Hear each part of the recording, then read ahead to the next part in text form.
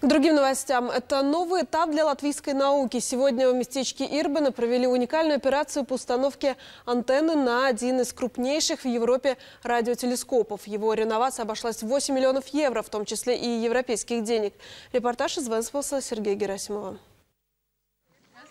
Последние приготовления вплоть до самого подъема. Нужно заранее как следует смазать места крепления антенны к башне.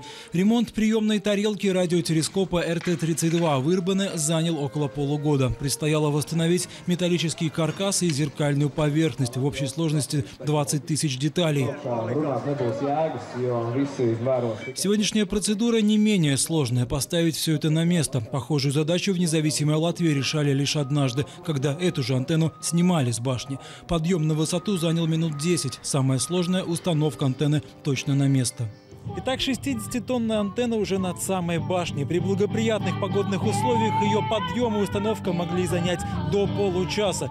И хотя пробные подъемы были и все рассчитано до мелочей, волнение чувствуется абсолютно у всех. Еще градусов 10 влево и антенна на месте. С земли угол ее поворота контролируют вручную. Следят за сложной процедурой десятки специалистов и несколько сотен зрителей. Талис Миллерс, бывший президент Академии наук Латвии. Именно благодаря ему Ирбинский телескоп не постигла участь скунского локатора. 21 год назад правительство сказало, объект нужно взрывать. Здесь уже стояла целая колонна машин, палатки и инструменты, чтобы пустить эту антенну на металлолом. Но но научная академия предложила перенять объект. Я осознавал всю важность объекта для латвийской науки. Нам предложила наша учительница по э, физике сюда приехать, сказала, что здесь будет историческое событие. Ну вот, мы сегодня собрались всем Венспусом. Вот мне лично будет очень интересно узнать, как это все будет работать.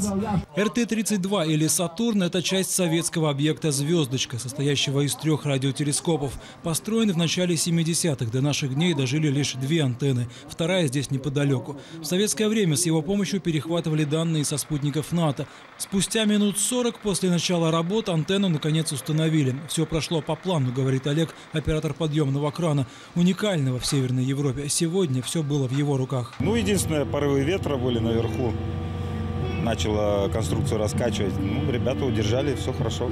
Реновация телескопа – огромный шаг для латвийской науки, говорит глава Центра радиоастрономии. Совместно со всей модернизацией, которая э, закончится в октябре, э, она даст нам возможность, во-первых, э, где-то на два порядка чувствовать больше сигналы космоса, то есть видеть дальше в радиоволновом диапазоне.